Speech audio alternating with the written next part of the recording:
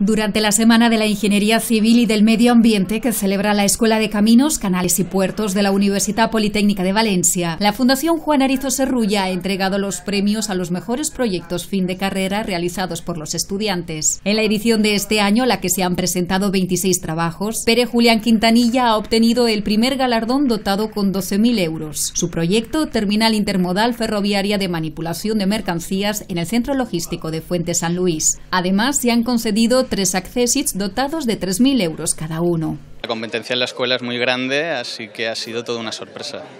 No, me lo esperaba para nada. Es una terminal ferrovial intermodal en Fuente San Luis, que está próxima al puerto de Valencia, que permite eh, la transferencia de carga entre bueno, eh, ferrocarril, carretera y eh, transporte portuario cuando se meten los, los trenes al puerto. La presidenta de la Fundación, María Serrulla, ha sido la encargada de entregar los premios de esta institución valenciana dedicada al mecenazgo, en este caso a la formación del conocimiento en el campo de la ingeniería de caminos, y que otorga desde hace ya nueve años. En recuerdo a mi hijo, pues cuando le ocurrió el accidente de, coche, pensé enseguida en hacerlo de la fundación.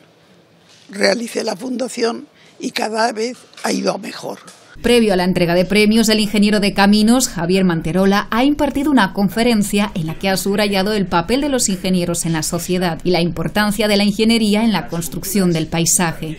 Para sacar este país adelante me han preguntado, porque ya me, preguntan de todo, cosa que no soy. Pues mira, hay que ser muy buenos, hay que ser muy buenos.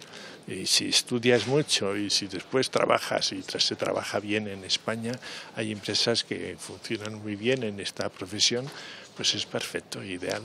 Además de estos premios, la Fundación Juan Arizo Serrulla colabora con la Universidad Politécnica de Valencia a través de la cátedra adscrita a la Escuela Técnica Superior de Ingenieros de Caminos, Canales y Puertos. La Fundación, entre otras acciones, tiene previsto abrir una convocatoria de seis becas para cursar el máster en Ingeniería de Caminos, Canales y Puertos.